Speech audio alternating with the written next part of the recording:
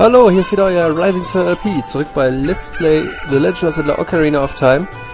Und bevor ich jetzt zum Schloss gehen werde, werde ich erstmal hier noch reingucken. Okay, ist noch nichts los. Hier ist nämlich der Maskenhändler, da können wir später Masken ausleihen und wir werden die an die Leute bringen.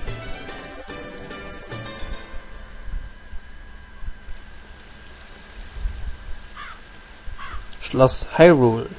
Und da ist jetzt schon wieder die Stalker-Eule. Deswegen, die wirklich stalkt. Ohne Witz. Lenk hier entlang. Dreh deinen Kopf richtig. Die Prinzessin befindet sich im Schloss. Was sagst du denn da? Doch hüte dich vor den Wachen. Sie dürfen dich nicht sehen. Ja, genau. Gehe nun. Muss ich meine Worte wiederholen? Nein. Du scheinst die Gabe der Weisheit zu besitzen. Viel Glück. Ich besitze einfach nur den B-Knopf, mit dem ich einfach vorspulen kann. Verschwende, dummer Stalker. Und jetzt ist nämlich Nacht. Und ich komme einen weiteren goldenen Skulpturer. Bam!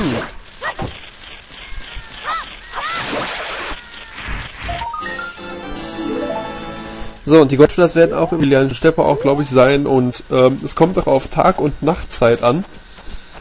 Und 100 Skulpturas sind es an der Zahl. Und ich überlege jetzt schon als Special, ähm, ein 100 Skulpturas-Special, sage ich mal, zu machen. Nämlich die ganzen Fundorte der, Gal der, Gold der, Goldenen, der goldenen, goldenen Skulpturas äh, zeige. So, ja, jetzt müssen wir uns einmal von einer Wache er erwischen lassen. Hm. Ja, sie meint uns nicht zu sehen hier. Guten Tag. Herr Kleiner. Halt, stell mir im Namen des Königs! Bäh. So, und diese schöne Stimme gehört... Na, wem wohl? Ja, da! Die haben wir gerade eben auch auf dem ähm, Platz gesehen. Wow, deine Kleidung! Wo trägt man denn sowas? Du scheinst nicht von hier zu sein, oder? Woher kommst du? Oh, du bist ein Feenjunge aus dem Wald. Ich bin Marlon. Meinem Vater gehört die London Range. Vater ist zum Schloss gegangen, um dort Milch abzuliefern. Doch bisher kam er nicht zurück. So, diese müssen wir ein paar Mal ansprechen hier. Gehst du zufällig auch zum Schloss? Wenn ja, tust du mir einen Gefallen? Würdest du dort meinen Vater wecken? Suchen? Sicher ist er eingeschlafen und macht irgendwo ein Nickerchen. Es ist immer das Gleiche mit ihm. Ach, wenn du ihn suchst, nimm dies hier an dich. Bewahre es warm und sorgsam auf. Du wirst es gebrauchen können. Hi. Ein seltsames Ei! Es scheint, als würde sich darin etwas bewegen. Warte ab, was passiert. Ja, und dieses Ei wird im Morgengrauen schlüpfen, deswegen ist es gut, dass ich hier am Abend angekommen bin. So. Dafür müssen wir halt diesen Vater wecken. Diese Melodie werden wir auch noch später lernen.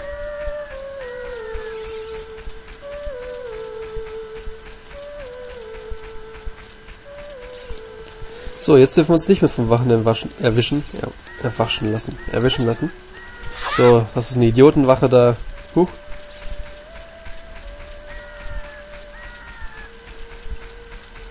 So, auf, ne, auf, zu, auf unserem Weg hier zum ähm, Vater da hinten wird sie auch wieder Tag und das Ei wird gleich schlüpfen.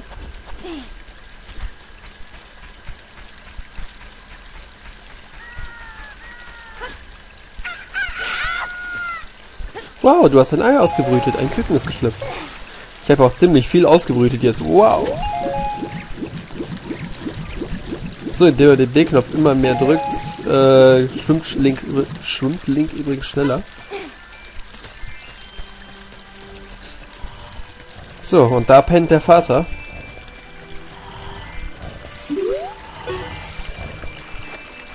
Wir müssen ihn wecken. Ah, was zum Teufel? Kann man denn nicht mal für eine Sekunde die Augen zumachen? Ja, die bis gerade eben zu. Hallo, wer bist du? Also ich bin Talon, Besitzer der London Farm. Ich war auf dem Weg zum Schloss, um frische Milch zu liefern. Als ich mich kurz ausruhen wollte, muss ich wohl eingeschlafen sein. What?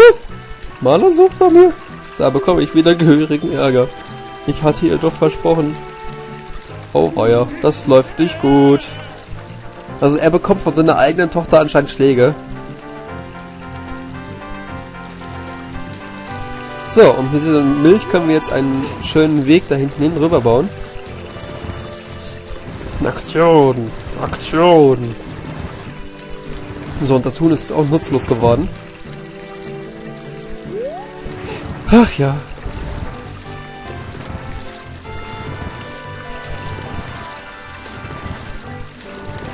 La la la la la. Bumm. So, und jetzt müssen wir die andere Kiste noch da draufstellen. Bei Traktion machen. Geil.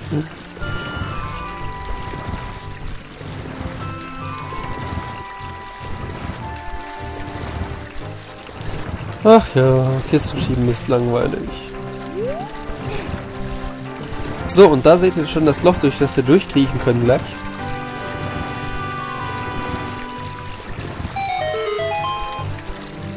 Schade, dass wir, komisch, dass wir jetzt die Kiste nicht weiter ins Wasser schieben können. Kriechen. Aktion. So, und jetzt heißt es Schleichen. Burghof. Wir müssen uns an diesen Wachen vorbei äh, schleichen.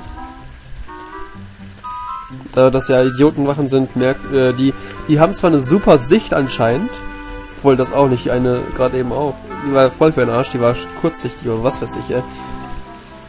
Äh, aber die hören uns nicht. Das ist das Lustige. Badam, badam, badam, badam.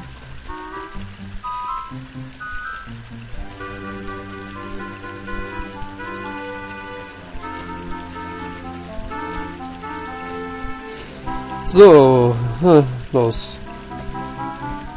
Die schwerste Stelle gleich erst noch. So, komm, guck weg. Rubine sind da jetzt uninteressant. So, jetzt kommt die knifflige Stelle hier. Die eine Wache bewegt sich nämlich schnell und die andere langsam. Ja, okay, nee, das war dann doch woanders. Aber die ist auch schon ziemlich knifflig.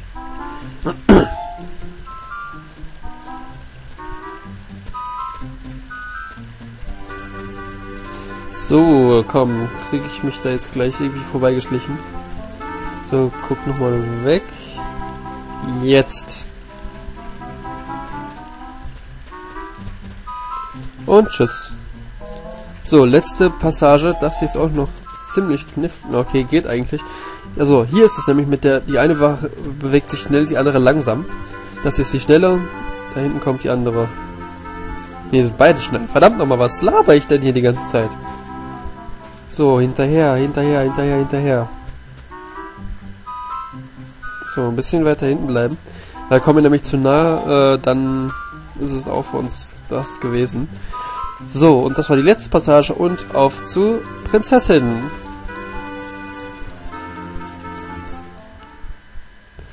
Oh Gott, jetzt kommt eine Stimme für Zelda, Hilfe.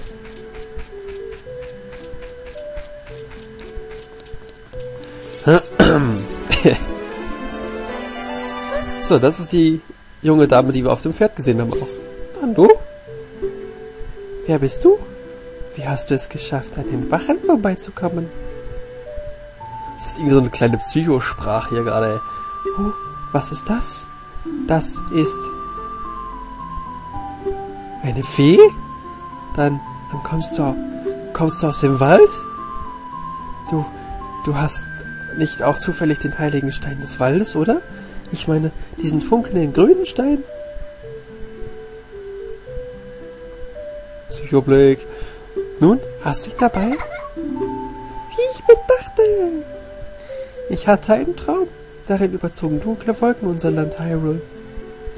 Doch plötzlich durchschnitt ein Strahl hellen Lichts diese Wolken. Er kam aus dem Wald und ganz Hyrule erstrahlte in seinen Glanz. Das Licht verwandelte sich in einen Jungen, der einen glitzernden grünen Stein in, Hand, in, den Händen hielt. Ihn begleitete eine Fee. Ich weiß, es war eine Prophezeiung, dass jemand aus dem Tiefen des Waldes kommen würde. Ich dachte, du wärst es. Oh, tut mir leid. Ich habe mich ein bisschen mitreißen lassen von meiner Geschichte und mich gar nicht stammesgemäß vorgestellt. Ich bin Zelda, Prinzessin von Hyrule. Wie lautet dein Name? Ich fühle etwas. Link. Seltsam, er kommt mir so vertraut vor. So sei es, Link. Ich werde dich nun in das Geheimnis des Heiligen Reiches einweihen, das seit Generationen von meiner Familie gehütet wird. Du wirst das doch nicht weitererzählen. Okay. Dies ist die Legende. Ach, mal wieder eine Story jetzt hier. Boah. Das Triforce vereint die Kraft der drei Göttinnen. Sie verbargen es an einem Ort in Hyrule.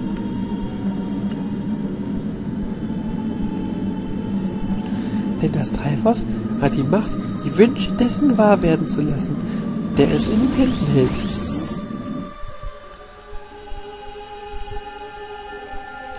Ein rechtschaffenes Herz würde Hyrule in goldene Zeiten voller Reichtum und Frieden führen.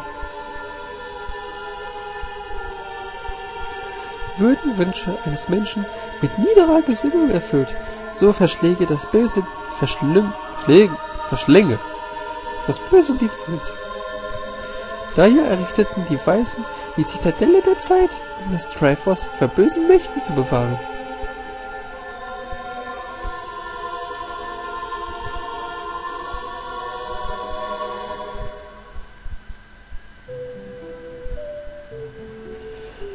Boah, Hilfe.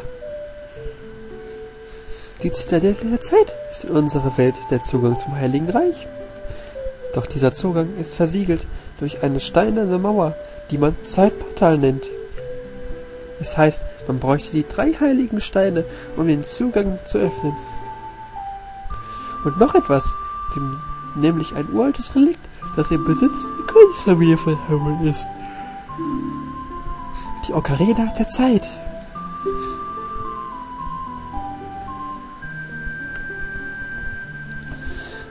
Hast du die Geschichte, die ich dir anvertraute, verstanden? Ja.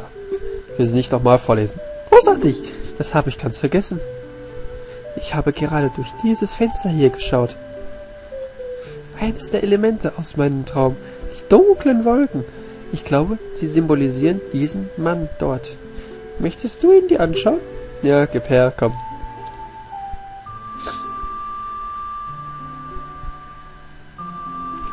Sieh mal einer an, wer da ist. Dunklen Wolken. Siehst du den Mann dort? Den mit dem bösen Blick? Das ist Ganondorf, Anführer der Gerudos, die in der Wüste fern im Westen unseres Landes leben. Er hat meinem Vater die Treue geschworen, doch ich glaube nicht, dass er, auf, dass er aufrichtig ist. Die dunklen Wolken, die ich Hy die Hyrule in meinem Träumen einhüllten, sie müssen diesen Mann symbolisiert haben. Mäh. Krokodilsfresse, ey. Was ist passiert? Hat er dich gesehen? Hab keine Angst. er hat keine Ahnung von unseren Plänen. Doch noch nicht. Ich weiß, er ist es. Natürlich erzähle ich, erzählte ich meinem Vater von dem Traum. Doch er glaubte mir nicht, dass der Traum... Hilfe. Eine Prophezeiung war, äh... Doch, ich glaube mir, ich spüre diese Aura des bösen Mannes oder so. Ganondorf hat es auf nichts anderes als das Triforce des Heiligen Reiches abgesehen. Nur das scheint sein Begehr. Um sein Ziel errei zu erreichen, muss er Hyrule, nein, die gesamte Welt unterwerfen. Link, wir sind die Einzigen, die Ganondorfs Pläne durchkreuzen können. Ich kann gleich nicht mehr. Bitte! Ich danke dir. Ich, ich, ich habe Angst, große Angst, dass dieser Mann Hyrule den Untergang bringt. Ich kann nicht seriös bleiben hier. Er besitzt übermenschliche Kräfte. Doch nun, da du hier bist, wird alles gut. Wir müssen verhindern, dass Ganondorf in den Besitz des Triforce gelangt. Ich werde die Ocarina der Zeit mit all meiner Kraft schützen. Niemals soll er sie erhalten. Deine, deine Aufgabe wird sein, die verbleibenden heiligen Steine zu finden. Sie sind der Schlüssel zum Heiligen Reich. Lass uns das Triforce suchen und mit dessen Kraft Ganondorf bezwingen. Eines noch. Nimm diesen Brief an dich. Ich bin sicher, dass du ihn gebrauchen könntest. Egal. Ja, yeah, das ist Zeldas Brief. Er trägt Prinzessin Zeldas Unterschrift. So, nachdem ich jetzt diesen hier erhalten habe, würde ich sagen, wir sehen uns im nächsten Part wieder. Und dann werden wir ein schönes Lied mit unserer Ocarina lernen. Bis dahin, euer Rising Soul LP.